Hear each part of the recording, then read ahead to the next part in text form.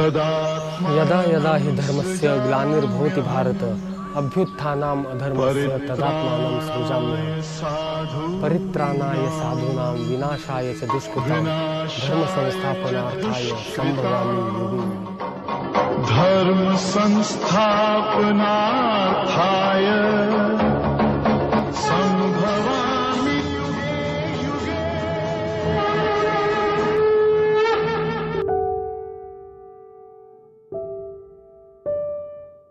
Good morning आज है एक अगस्त और आज हम देख रहे पूरा कुरुक्षेत्र।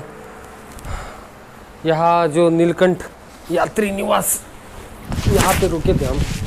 तो अभी जाएंगे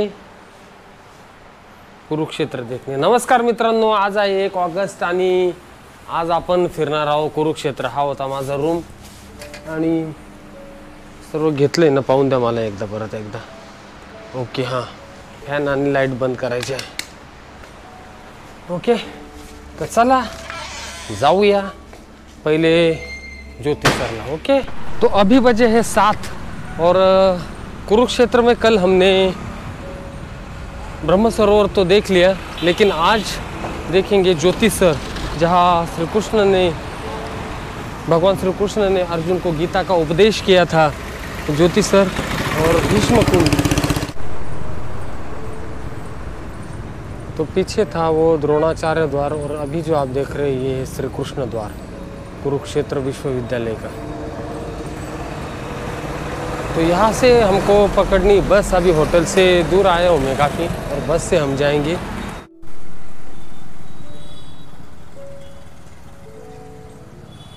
हाँ तो पेहवा रोड पे है ज्योति सर तो पेहवा की बस में अभी जाना पड़ेगा हमको। रेलवे क्रॉसिंग क्रॉस करके फिर उस साइड जाएँगे। और आप देख रहे हैं, यहाँ हर जगह चौराहे पे महाभारत के कुछ तो भी निशान के तौर पे मूर्तियाँ लगाई हुई है। आप देख सकते हैं छोटे छोटे मंदिर कुरुक्षेत्र के, और जो सामने है, राव राजा तुलाराम, सन अठारह सौ सत्तावन का महानायक। इस चौराहे से ये जो रोड जाएगा, वो जाएगा ज्योति सर की तरफ़। तर चला जाऊया हो जो हे ज्योति सर ज्योति सर तीर्थ। और इसको ज्योति सर इसलिए भी कहा जाता है दोस्तों कि यहाँ ज्ञान की प्राप्ति हुई। मतलब जो ज्योति सर यानी सरोवर, ज्योति यानी ज्ञान ज्ञान का भंडार जहाँ पे ज्ञान का भंडार का उगम हुआ, वही है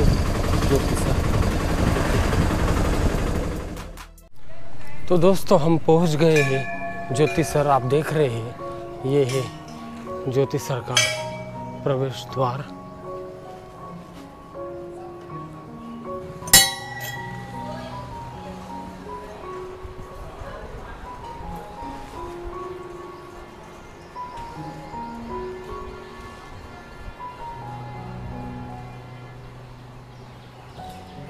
प्राचीन बरगद के पेड़ यहाँ नज़र आ रहे हैं।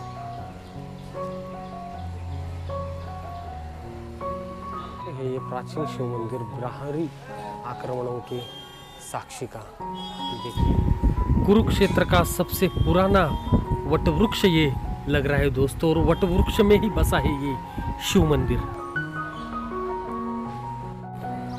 ये जो है यहाँ रात को लाइट एंड साउंड शो होता है, उसकी ये झलकियाँ है और मैं बता दूँ दोस्तों, ये है सरस्वती नदी के किनारे। लेकिन जो सरस्वती नदी जो अभी लुप्त प्राय हो चुकी है, उस नदी के किनारे पे है ज्योति सर का पवित्र तीर्थ। आप देख सकते हैं, ये सरस्वती मंदिर, गीता मंदिर और महाभारत की झांकियाँ। सब के छोटे छोटे मंदिर है, धृतराष्ट्र, संजय, द्रोणाचार्य, दुर्योधन, सूर्यदेव, अर्जुन श्री कृष्ण पार्थ, सारथी, हनुमान, राधा कृष्ण, सबके छोटे छोटे मंदिर यहाँ पे बनवाए गए हैं। और यहाँ पे भी जानकारी लिखी है, यहाँ पर हिंदू मिशन गीता तीर्थ की ओर से हर वर्ष मंगसर महीने के शुक्ल पक्ष में एकादशी तिथि से 18 दिन तक गीता जयंती पर्व मनाया जाता है। अंतिम दिन पूर्णाहितों के साथ भंडारा हो जाता है। तो चलिए जो भगवत गीता की जो साक्षी है, उस वटवृक्ष का अभी हम दर्शन करेंगे दोस्तों।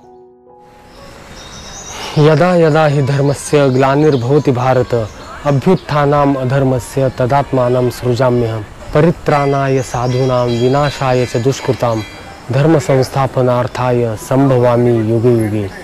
गीता के जो अठारह अध्याय भगवान श्री कृष्ण ने अर्जुन जी को बताए थे। तो वही ये है वटवृक्ष श्रीमद् भगवत गीता जी के साक्षी। मैं अभी आपको पूरा दिखाता हूँ। और दोस्तों, ज्योतिषर वह जगह है जहाँ गीता का जन्म स्थान और कुरुक्षेत्र का सबसे सम्मानित तीर्थ है।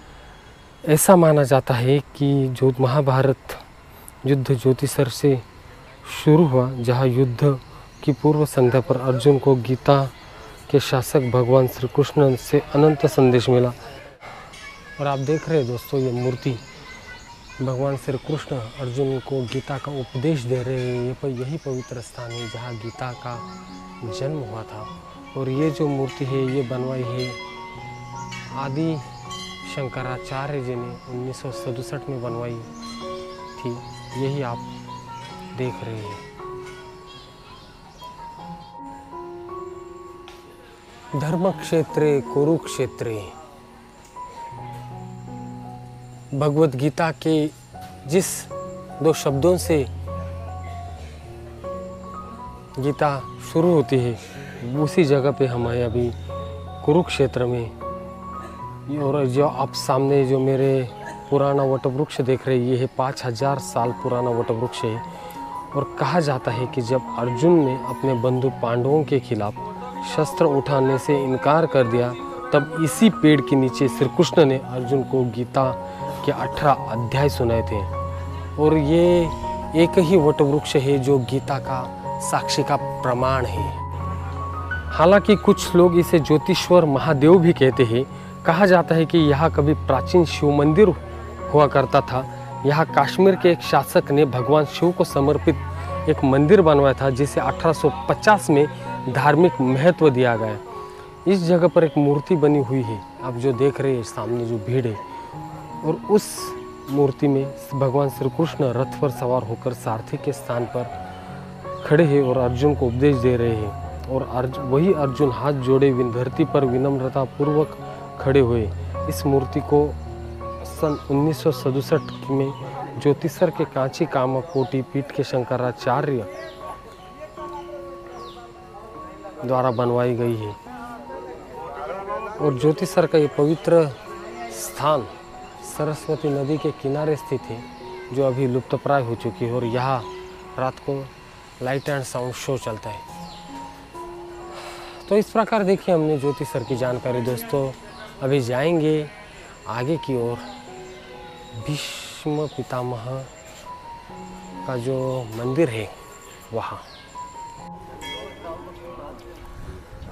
तो भाविकों की हमेशा भीड़ से भरा ये परिसर रहता है अभी इतनी सुबह भी, देखिए अभी आठ को पाँच कम है तो भी यहाँ भाविकों की भीड़ आप देख सकते हो।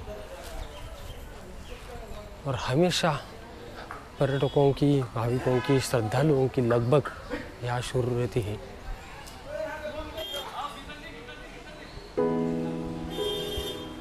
तो ऐसा था हमारा ज्योति सर का सफ़र। मैंने जितनी जानकारी मुझे मालूम थी, उतनी बताने की मैंने आपको कोशिश की है। तो अभी हम जाएँगे नरकातारी भीष्म कुंड की तरफ़। दोस्तों ज्योति सर का ये वीडियो अच्छा लगा तो प्लीज़ लाइक कीजिए, शेयर कीजिए और कमेंट कीजिए।